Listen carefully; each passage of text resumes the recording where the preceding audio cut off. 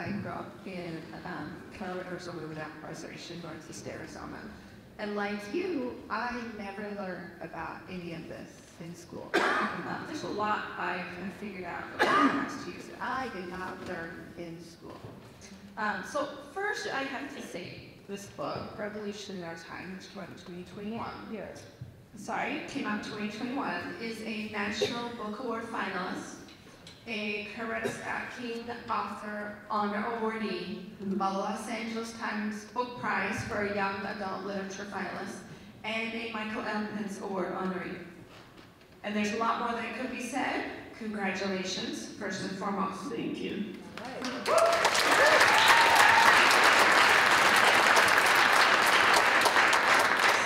Give us a little bit of a sense about what brought you to do this work. Um, Tell us a little bit about the reception that you've received from this book.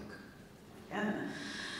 The reception has been incredibly warm, which is a huge relief because I spent a decade researching it and you know struggling to get it published and hoping that it would turn out right. And I mean, I actually sold it to a publisher and received feedback that was clearly um, quite um, uncomfortable. The, the editorial team was quite uncomfortable with the material.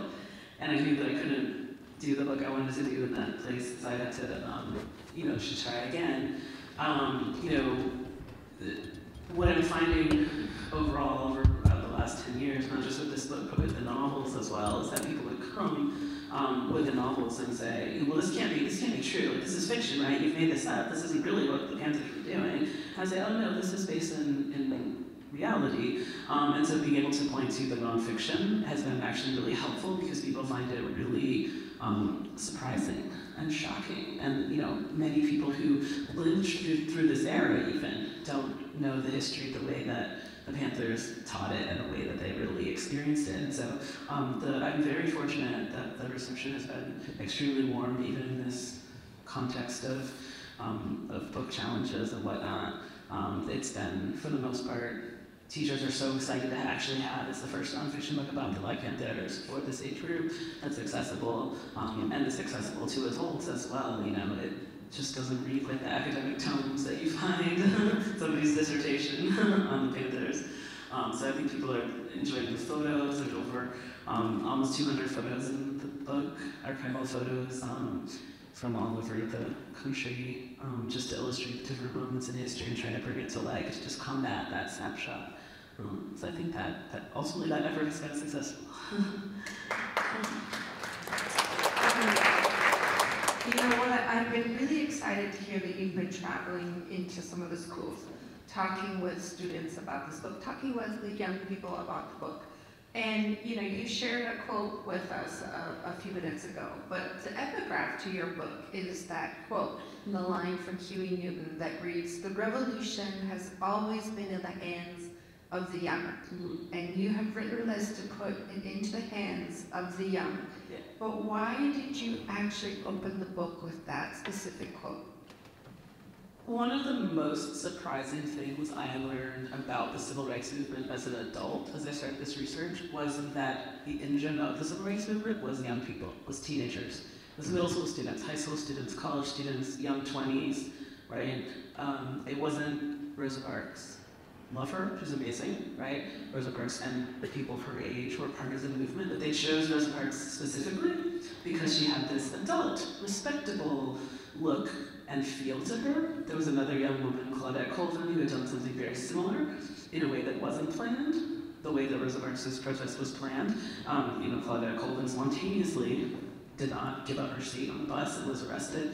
Um, and they did not choose to make her the model right? It's just make Rosa Parks the model because there's a way that we sort of want to package and present, right, the movement. And when we tell the history, it's always Dr. King, who, by the way, was considered a young upstart in his day, right? He wasn't this, you know, respectable old man, right? He was 39 when he was killed. The majority of his ministry took place in his 20s and 30s. He was considered young and revolutionary too. Um, and so the fact that the teen college protests were kind of missing from the narrative that I learned growing up.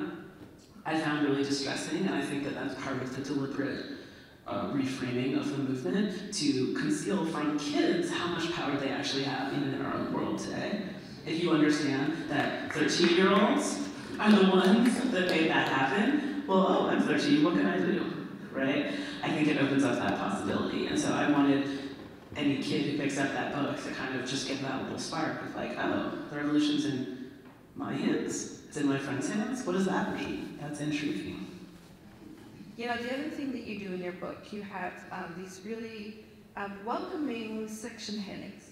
So it's spark and kindling and blaze and embers. And how does that imagery of fire, how does that thread through the rest of? I have, yeah, I had so many different metaphors that I think of when I was working on this. Um, and fire is, you know, something that feels very true to me. This, like, just the kind of passion and kind of anger and the kind of um, the, this, the desperation and the need for change um, that's part of the movement. Um, and so I, I like the idea that it's something that, um, you know, yeah, that little spark can grow a whole fire, right? If you start of fire with one little match, right? Rubbing, I mean, I can't start one by rubbing sticks together, but allegedly, right? People can do that. Um, and so, like a one match fire, right? Like you stack up the twigs in just the right way, and you put that spark, and you have this blaze. I really think that, you know, just like the raindrops, right? It's a different metaphor for how something small can grow if it's fed, something small can grow if it joins with other things like it, right? Um, and so that, it, it, spoke to me as a metaphor. Um, yeah, just that sense of, we need a blaze, we need a fire, we need something to grab people's attention and, you know, really transform. Because you know, fire also transforms the thing that, you know, it's not like making a salad where everything is still, you know, its own thing. There's carrots in there and celery and other things. It's like, no, you're taking this wood and you're transforming it into charcoal, right? It's becoming a different thing, and that's what we want from a revolution. We want to really transform our cultures, like we have something reversion. Um, so in doing the research for this book, tell us about one or two characters you were really excited about. And what is it about their stories that you really wanted to share? Hmm. Um, okay, so um, one of the so one of the characters of the book is um, He's also a research character. So there's a guy named uh, Billy X. Jennings who lives in Sacramento now. He's a, um, a former Panther, and he's kind of the archivist of the party.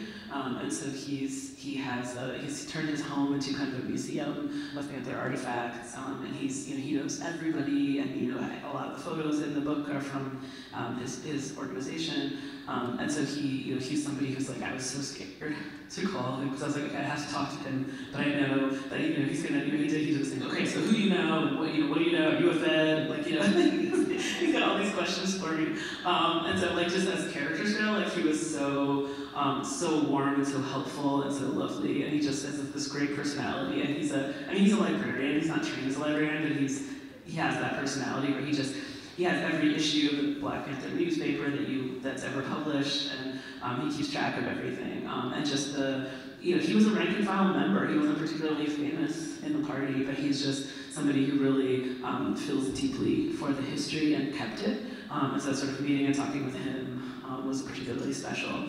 But in terms of like people whose narrative in the story I, um, from the life of the Panthers, um, Ericka Huggins is somebody who inspires me a lot. She um, was, uh, she, so she and her husband, John Huggins, came from uh, Pennsylvania and early in the party to Los Angeles, and they became leaders in the Los Angeles chapter.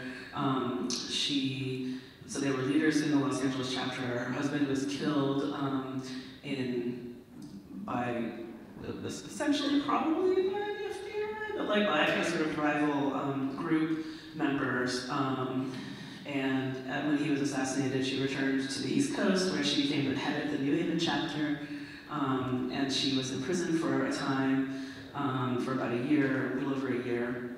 Um, and you know, went to trial and had all kinds of um, just like really powerful experiences like across the party. Like you could tell the history of the Black Panther Party just by following Ericka Huggins' narrative um, because she did it all. She was a chapter leader, she was on both coasts, she was in prison and a political prisoner for a time. and She um, founded the Oakland Community School and was the leader of the Oakland Community School for a long time and is an educator still today. Um, and I got to meet her in Oakland when I went there for the 50th anniversary celebration. Um, and she was, you know, one of the people who you think, oh my gosh, you know, you lived through this harrowing history, you were an incredibly powerful leader, and yet you still have time to have coffee with this little writer who you don't know me from a hole in the wall, but you know, the woman I did the school visit would have set me up for coffee, and Ericka Huggins just met me for coffee, and it was so um, uh, empowering that somebody like that would take time to, to chat with me. Um, and so her story is, is woven through Revolution in our time. Um, I think that points to something that uh, many readers have have taken away from the book. That one, we often are told this history, right? It, it's kind of it's erased. It's it's not something that we learn. But when we do learn bits of history, we often don't learn the history of women yeah. in these movements. Tell us what it was like and, and what your purpose is in her reading her story and bringing the women to the forefront in this book. Yeah, um, so just the sheer fact that at the peak of the Panthers membership, about 65% of the members were women is amazing, right? Like that's a huge fact that I didn't know. And so like Ericka Huggins, when I met with her and I said, you know, I this was early in the research process, and I said something like, yeah, like I see it's really important to me to highlight women's role in the party. She kind of grabbed my arm, and she's like, not women's role in the party. No one would ever say men's role in the party. She was like, women were the party. And I was like, I mean, it was like, she had like the activist, like, black people with her eyes on you, and you're just like, yes, yes, I will never make this mistake again, ever, right? but it was a really powerful lesson to me that like you know, we do tend to kind of minimize women's role in things, right? We talk about it that way. Um, and so that just that conversation and other pieces of the story um, made me want to do the best I could to bring um, the various women who were powerful leaders within the movement to the front of my narrative. One of the challenges of that is just that the way the broader historical record tells the story is that you really have to pull those narratives out um, when the when the organization was founded, and you know, Sweden and Bobby Seale were going around finding young black men. Like the mission, their mission when they set out was to gather young black men, um, and it was a young woman named Tarika Lewis in Oakland who like came knocking on you know knocking on their door and we're like, hey, what is this thing about black men? Like I can do it. Like give me a leather jacket. Like I'll go you know, patrol the neighborhood. Like I'll direct traffic at the intersection, right, which is what they were doing initially.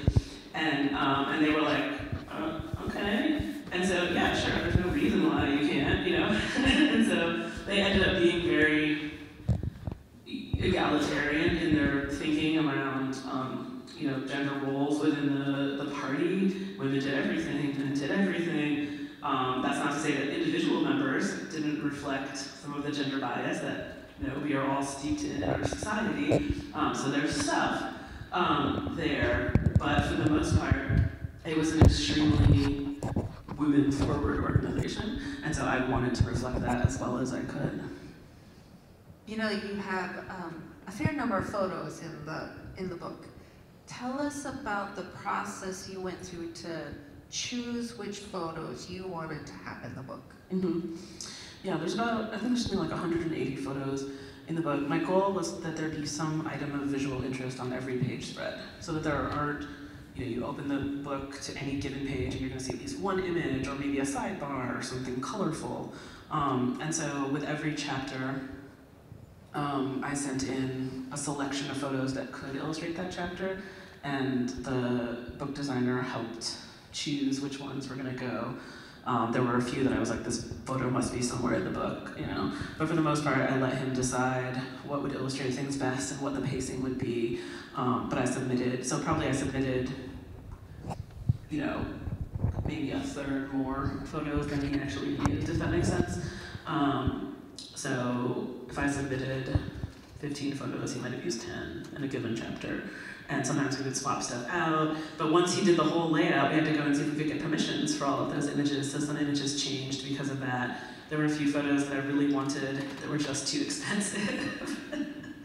um, and you know, it was it was a whole process of you know how much am I willing to spend, how much is the publisher willing to spend, um, and and you know who, who can I even contact the people to get the rights for the photos.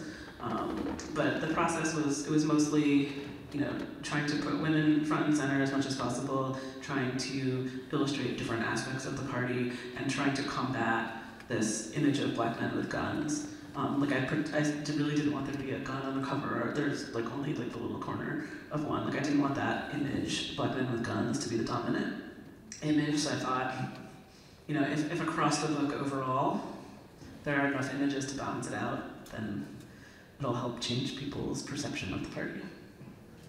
And so, you know, this, it sounds like, and I, this is just me imagining, that you've been doing this research for years.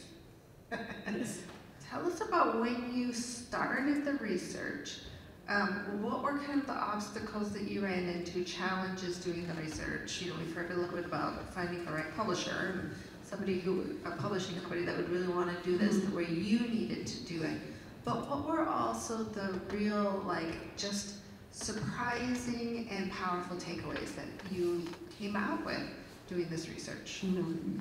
I mean, the initial challenge was there was not very much online available at the beginning of the process. There's so much more available online about the Panthers now than there was when I started the research. So I literally was going to archives and sitting with the little white gloves and spending a lot of time in the Library of Congress and the Oakland museums.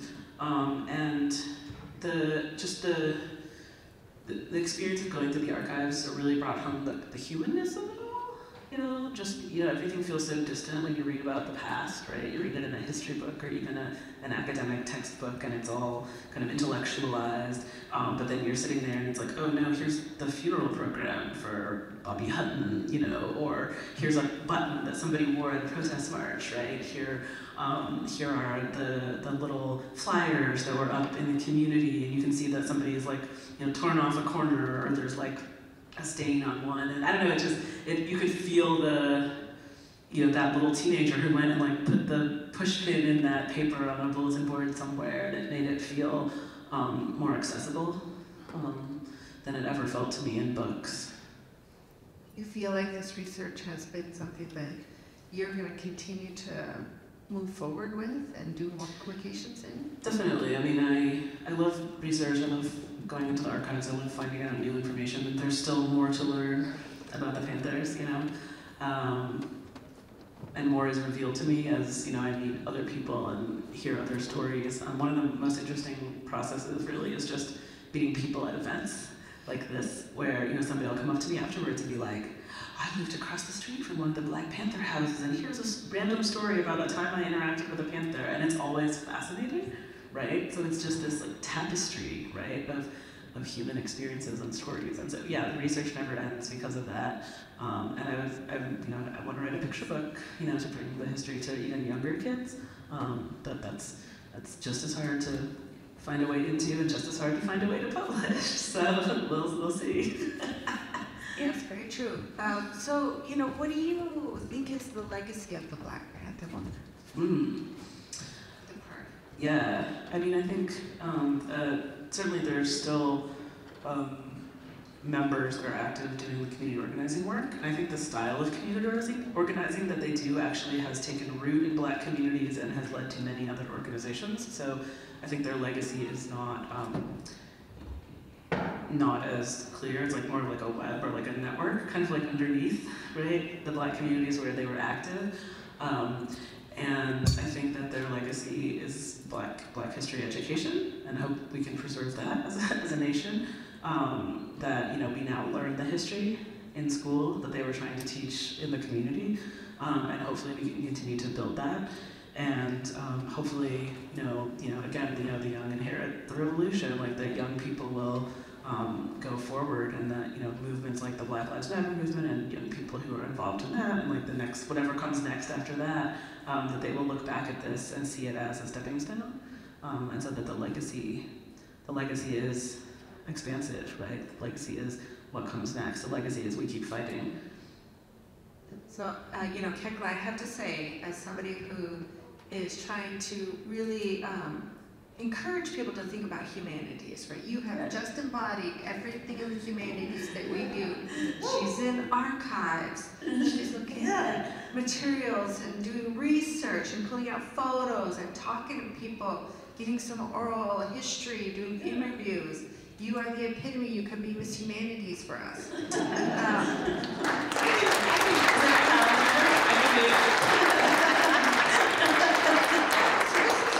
this is one thing that I take away from the conversation. What do you hope readers take away um, from reading this book? But also, what do you hope that we take away after this conversation tonight? Um, so I hope, I hope readers take away a deeper understanding of the history and how it connects to the present day.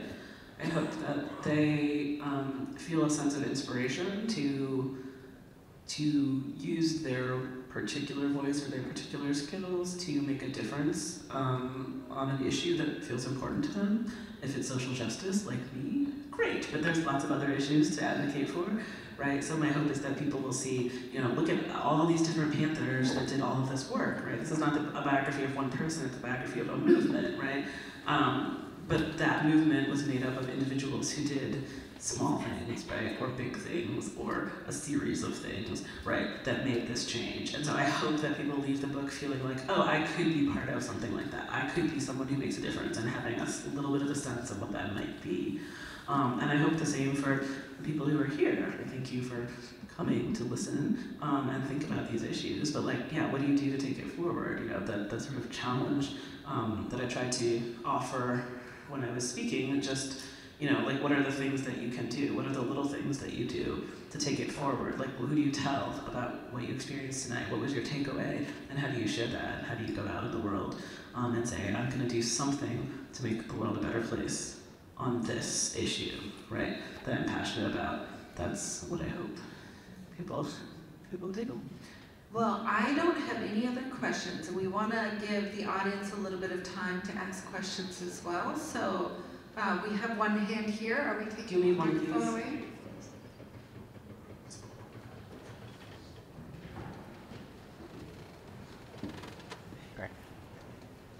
Thanks so much for coming. She is a classic humanist, absolutely, um, investigating the human story. I know that they did some really interesting intersectional work with Asian communities and Latinx communities, and I wondered we're, we're multicolored, multicultural, multi-generational here. Are there any successes they had in doing that bridge building that you think would help us here? Yeah, so um, so yeah, so the Panthers were very active across um, racial and, and, cultural and um, various lines. Like they had, um, there's these sort of fascinating photos of um, Black Panther members in Chicago who are, you know, they have like a standard black leather jacket or whatever, working with young patriots who were white working class, uh, white working class group who had like Confederate flags, right, on their jackets. And so like they're like working together because it was an economic struggle, right? And they worked with the Young Lords, who was a Puerto Rican organizing group. They worked with the American Indian movement. They worked with um, the uh, Red Guard. Like there was a lot of um, different organizations who were all advocating for needs within their own community, their own ethnic group, or their own um, neighborhoods. Um, like in Chicago, Fred Hampton, who I, who I'm a revolutionary guy, um, was exceptionally skilled at uh, bringing together um, those various street organizations that were working in different communities that had been rivals all these years. He talked to them. Like conversation was the key right? Getting people to talk to each other about the things they have in common, not just the things that are causing conflict between them. Um, and so he brought all those different groups together because they had common struggles. And they stopped talking about black people, they started talking about all oppressed people, right? Um, and so that idea of we are linked through our oppression, we are linked because there are people who have power, we're not those people, right? We all have common interests um, on economic and, um, and racial fronts um, to have those conversations. And so um, in terms of what to learn from that, I think the thing is, the main thing is dialogue, right? Not being afraid to talk to people who are different from us and trying to find the commonality, right? If you can enter a conversation and say, okay, we come from here, you come from here, let's talk until we figure out what is the thing that we have in common. Maybe it's only one thing at the beginning, but you're going to find out it's only one thing, right? Um, and then you start to build those relationships, I think.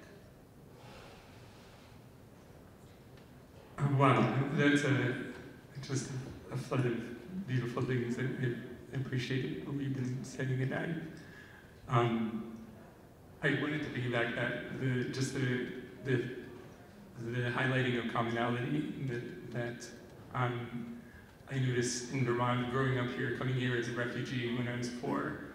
Um, there is a special there's a special level of whiteness that, that is um, that is fundamentally structured around you're guilty until proven wealthy. And that is one that, that threatens everyone.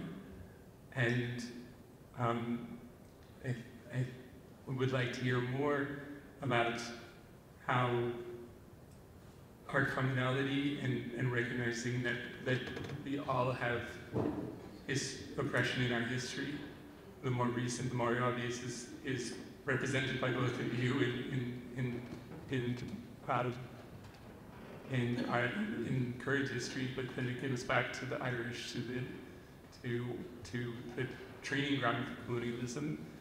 And uh, so how to speak more to that whiteness as, as something that is not just about skin, but, about how we how we can can say that there that there is no hierarchy in oppression. Yeah, I mean, there's there's so many um, economic components to kind of every facet, right, of our culture and, and country, and so um, you know, like there's racism, and then there's economic injustice. Those things are linked, but they're different, and so talking about economic injustice is a particularly powerful. Like when people really understand how the economic structures of our society work, right? Um, we understand how important it is to do things like vote, right? And how important it is to to band together, right? And, and, and use collective action because it takes a lot of voices to combat a single voice that has a lot of money and power, right? Um, and so that's, um, you know, I think a lesson that we can all learn is that, you know, we, we often feel powerless because we can't, you know, if we can't buy our way out of a problem, right? but we can actually use collective action to um, create change too.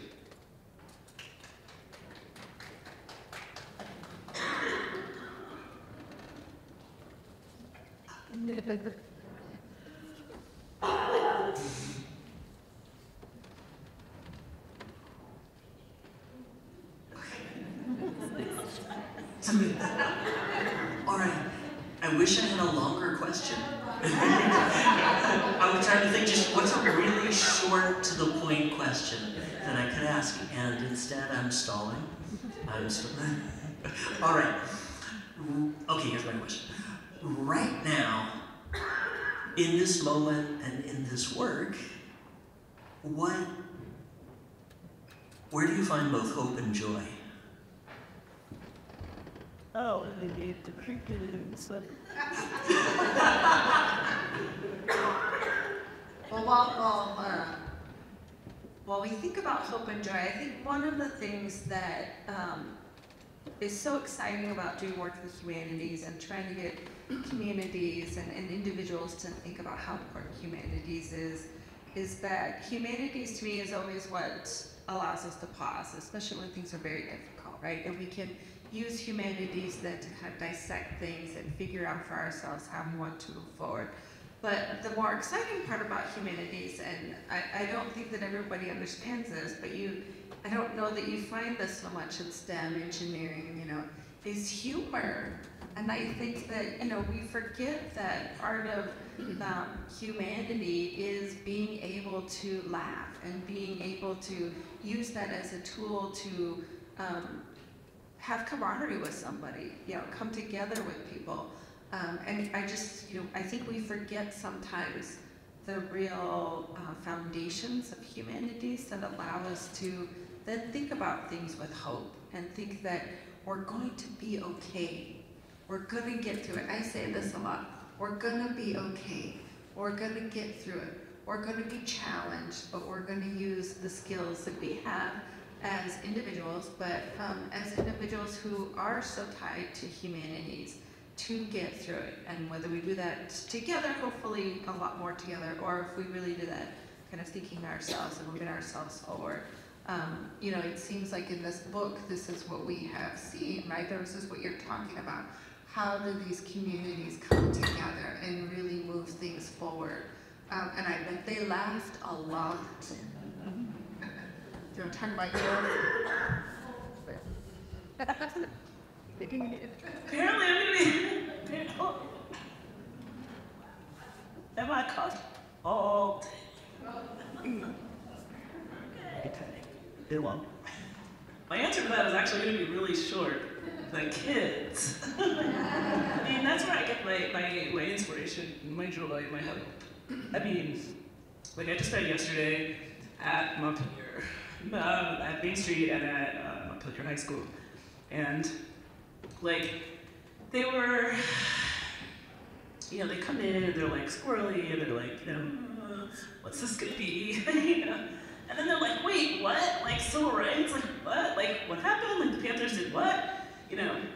So like they get really engaged by it, they get really outraged by it, and they get really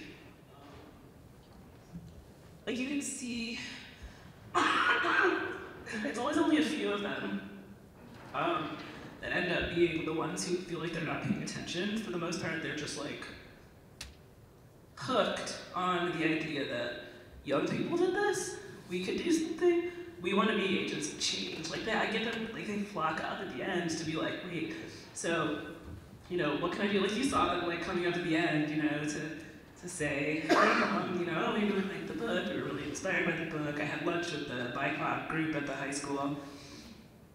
And, you know, you know, I sat, you know, I sat in there at first and they're all shy and they're like looking around like, you know, like, oh, are we're gonna talk to the author, Are we're gonna talk to the author. And then like, you know, three minutes later, they're like, okay, so, like on page 75, like you talk about this. And like, I read this whole thing, and I'm going, you read this whole thing? This is a 400 page book, you know, look at they're reading it. And they're like really passionate, and I don't know, it just, it gives me hope that like they're paying attention, that they are gonna reach across like racial lines, and that they're gonna find their own voices, and they're gonna figure out like how to transform the world. Like they really are. I think it will. Yeah. that's cool.